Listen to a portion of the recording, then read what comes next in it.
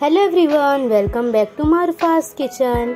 आज हम बनाने जा रहे हैं सोया चंक्स की सब्ज़ी, जिसे आप आलू सोया की करी भी कह सकते हो। सोया चंक्स बहुत ही प्रोटीशनस सब्ज़ी है, और अगर आप इस रेसिपी को फॉलो करके सोया चंक्स की सब्ज़ी बनाओगे तो आई एम श्योर बहुत ही डिलीशियस बनने वाली है आपकी सब्ज़ी। तो सबसे पहले सोया चंक्स की सब्ज़ी बनाने के लिए हमें चाहिए सोया चंक्स। अब मैं सोया चंक्स में थोड़ा सा पानी ऐड करके इसे पाँच मिनट तक सोक करके रखूँगी। सोया चंक को एटलीस्ट पाँच मिनट चाहिए रहता है, ताकि सोया चंक्स अपने अंदर पानी को सोक करके अपने साइज़ में थोड़ा इंक्रीज़ हो जाए।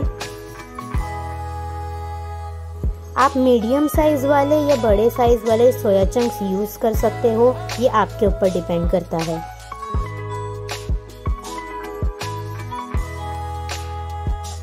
पाँच मिनट बाद आप देख सकते हो हमारे सोया चंक्स ने हाफ़ वाटर सोक कर लिया है और अपने साइज़ में भी इंक्रीज हो चुके हैं। अब हम सोया चंक्स में से सारा वाटर निकाल लेंगे।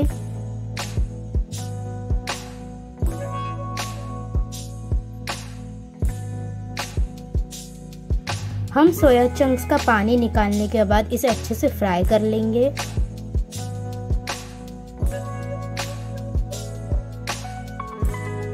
अब आप देख सकते हो, हमने सारे सोया चंक्स का पानी निकाल लिया है।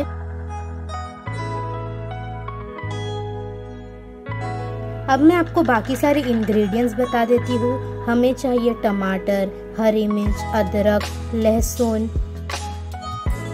तेज पत्ता, सूखी लाल मिर्च, प्याज और एक टीस्पून ज़ीरा। अब हम मिक्सर में डाल देंगे प्याज। लहसुन, अदरक, तीन से चार हरी मिर्च और इन सब चीज़ों का अच्छे से एक ग्राइंड करके पेस्ट बना लेंगे। अब आप देख सकते हो, हमने एक फाइन पेस्ट तैयार कर लिया है। अब हम मिक्सर ग्राइंडर में टमाटो डालकर एक टमाटो प्यूरी बना लेंगे। अब आप देख सकते हो, हमने बहुत ही फाइन एक प्यारा सा टमाटो प्यूरी तैयार कर लिया है। अब हमें चाहिए एक बॉइल्ड पटेटो मैंने आलू को ऑलरेडी उबाल कर रख दिया है। अब मैं एक पैन में डालूँगी 150 ग्राम्स ऑयल और उसमें सोया चंक्स डालकर अच्छे से फ्राई कर लूँगी। सोया चंक्स को फ्राई करते टाइम पे हमें थोड़ा ज़्यादा ऑयल यूज़ करना होता है।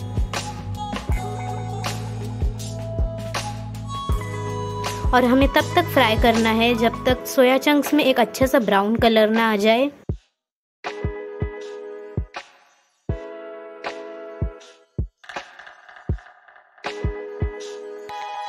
अब आप देख सकते हो सोया चंक्स में एक अच्छा ब्राउन कलर आ चुका है। दैट मीन्स हमारा सोया चंक्स अच्छे से फ्राई हो चुका है। तो अब मैं इसे एक प्लेट में निकाल लूँगी।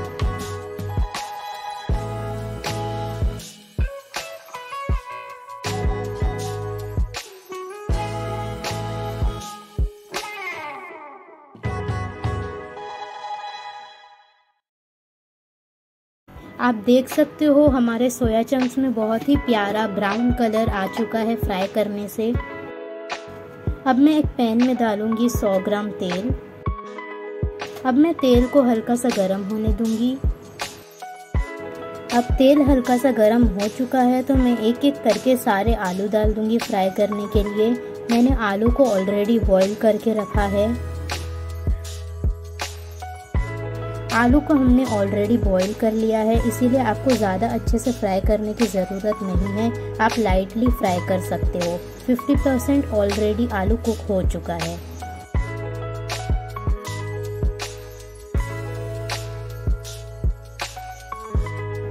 अब आप देख सकते हो, आलू में हल्का गोल्डन ब्राउन कलर आ चुका है। दैट मीन्स हमारा आलू अच्छे से फ्राई हो चुका है।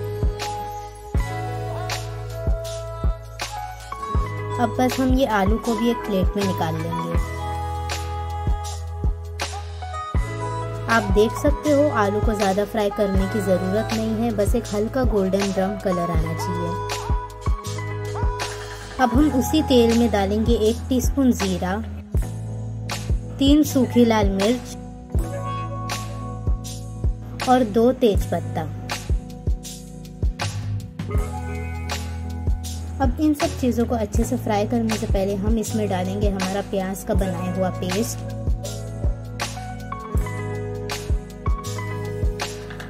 अब मैं सूखी लाल मिर्च, प्याज के पेस्ट और एक टीस्पून ज़ीरा को अच्छे से भून लूँगी।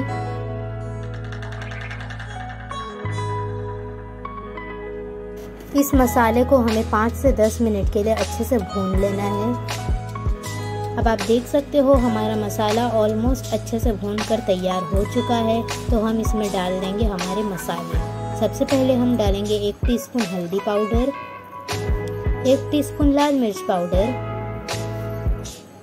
एक टीस्पून धनिया पाउडर, एक टीस्पून ज़ीरा पाउडर। अब सारे स्पाइसेस को भुने हुए मसाले में अच्छे से मिक्स कर लेंगे।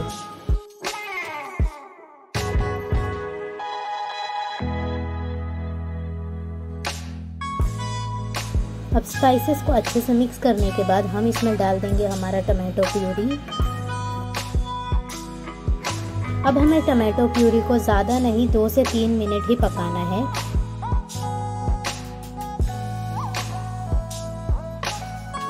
अब दो से तीन मिनट बाद आप देख सकते हो टमाटो प्यूरी अच्छे से पककर तैयार हो चुका है। तो अब हम इसमें डाल देंगे नमक स्वाद अनुसार।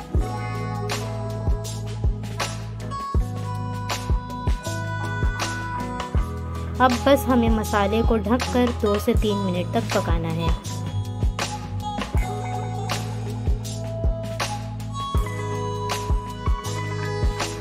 अब तीन मिनट बाद आप देख सकते हो हमारा मसाला अच्छे से भून कर तैयार हो चुका है। मसाले में साइड में तेल भी आ चुका है। दैट मीन्स हमारा मसाला तैयार हो चुका है। तो अब हम इसमें डाल देंगे हमारा फ्राई किया हुआ आलू।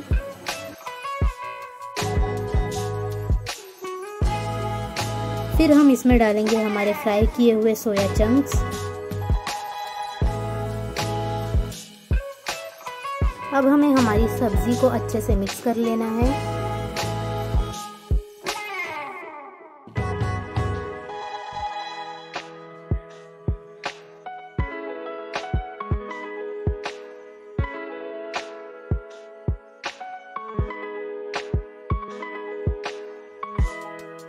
अब हमारी सब्ज़ी को पकाने के वक्त हम इसमें डालेंगे रोस्टेड कस्तूरी मेथी।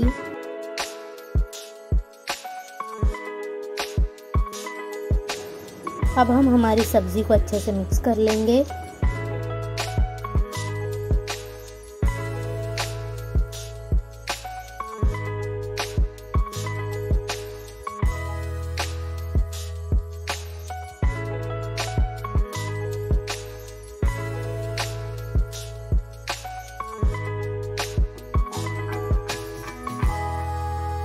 अब हम हमारी सब्ज़ी में डालेंगे एक गिलास पानी।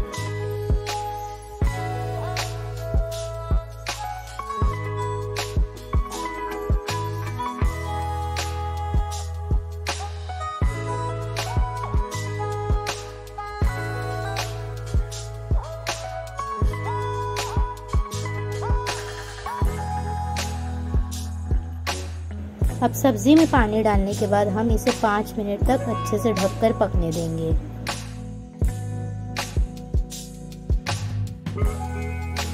अब पाँच मिनट बाद मैं एक बार खोलकर देख लूँगी कि हमारी सब्ज़ी तैयार है या नहीं।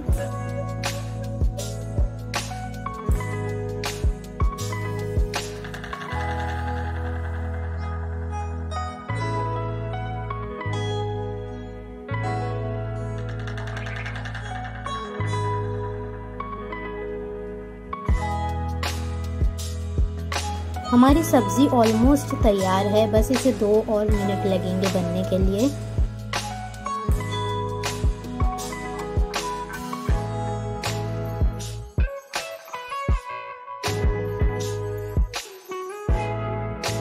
अब दो से तीन मिनट बाद आप देख सकते हो, हमारी सब्ज़ी बनकर तैयार हो चुकी है, हमारे आलू भी सॉफ्ट हो चुके हैं।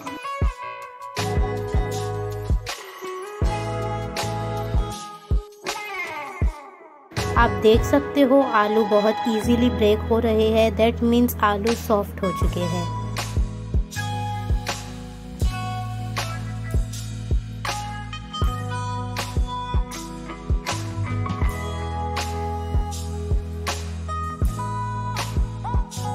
अब बस लास्टली मैं इसमें डाल रही हूँ गुलाब जल, जो कि ऑप्शनल है.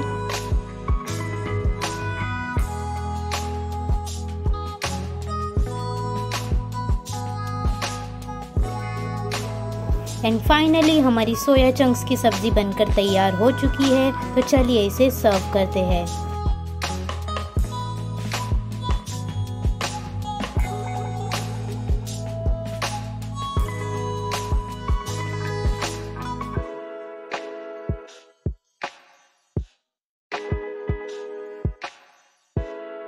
एंड हमारी सोया चंक्स की सब्ज़ी बनकर तैयार हो चुकी है। इसे मैंने हरा धनिया के साथ थोड़ा सा गार्निश किया है। अगर आपको हमारी ये रेसिपी पसंद आई है तो इस रेसिपी को आप ज़रूर ट्राई करें।